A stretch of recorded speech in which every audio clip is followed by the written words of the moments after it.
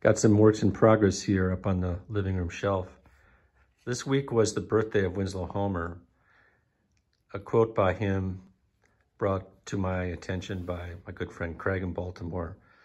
Look at nature, work independently, and solve your own problems. Of course, nowadays that can mean both going out into nature, such as he did, and studying nature through the lens of a camera. It doesn't matter so much. The idea he had is a bit Buddhist, in my opinion. It has that sensibility to it. The idea of, you know, after the revelation or after the the moment of, of wisdom, the uh, chop wood, carry water, just keep working. His somewhat contemporary Samuel Clemens would have said uh, something very similar, which is the best life for a creative person is to be competent and obscure. I think that rhymes, at least, with Winslow Homer's quote. The idea is you keep working no matter what, and it is best to avoid the extreme ups and downs of the scene.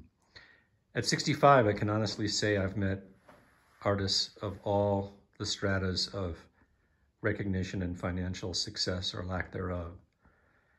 It's rare to find somebody who is satisfied with their lot, no matter how many shows or accolades they've received.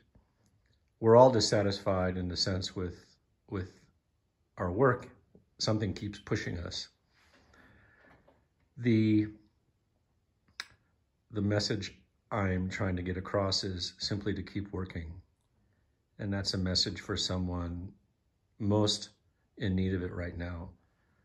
We don't have a lot of space in the public's eye, mostly drowned out by television, movies, advertising, other things, other forms of visual entertainment, including Google, where anybody can pick up images for free, discard them, why should they invest money in a in an object that doesn't change and they can't get rid of?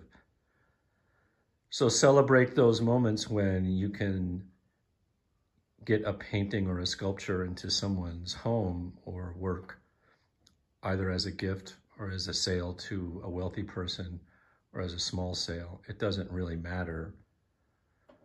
The history of the art gallery is a very short one, really.